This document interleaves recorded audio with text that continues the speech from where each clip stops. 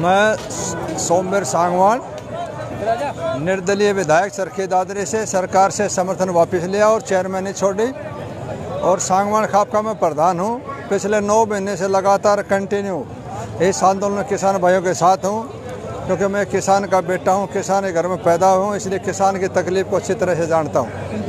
इसलिए आज इस महापंचायत के अंदर पहुँचा हूँ। कल पूरा हरियाणा प्रदेश देश के कोने कोने से भाई आ रहे हैं, इतिहास लिखने जा रहे हैं, सबसे बड़ी पंचायत होने जा रही है। और ये पंचायत इस आंदोलन का टर्निंग पॉइंट होगा, सरकार हिल जाएगी, सरकार ने तीनों कानून वापस करने पड़ेंगे, सरकार ने किसान की बात को मानना पड़ेगा।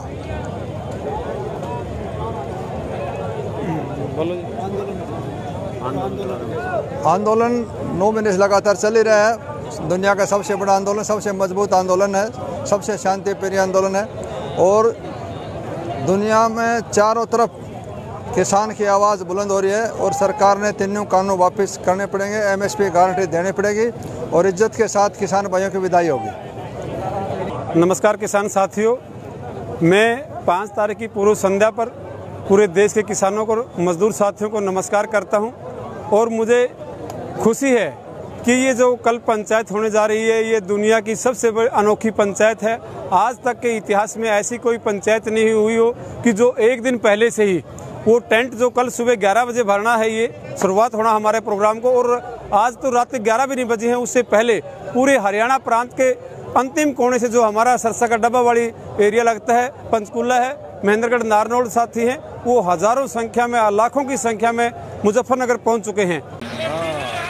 आदर सम्मान के योग बुज़ुर्गों नौजवान साथियों और दूर दराज से आए हमारे सभी किसान भाई और हमारी मातृ शक्ति आप सभी हमारी छोटी सी पार्टी की तरफ़ से हार्दिक ले लिया तुमने।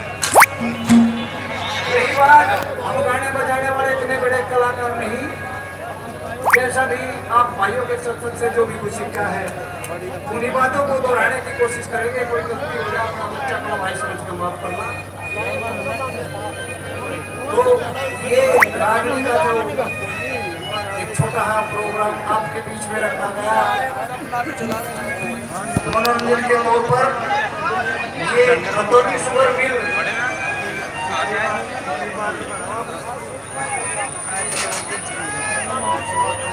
और जानसठ तहसील अध्यक्ष जी अशोक भटान उनकी तरफ़ से उनके सौजन्य से ये थोड़ा मनोरंजन का आपके बीच में प्रोग्राम रखा गया।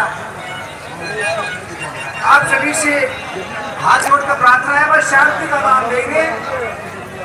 और जिससे हमें भी कुछ गान में स्वाद होगा कुछ नहीं सुनने में स्वाद होगा। तो सबसे पहले एक भजन।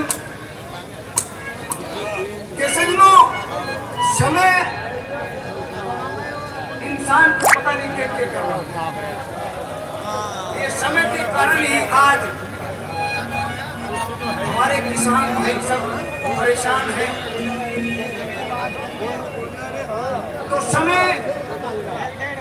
किस किस पर कैसा समय आया और कैसे उसने कर्जा एक बात के द्वारा क्या बता दिया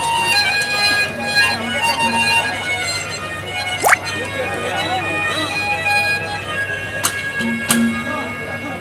हाँ।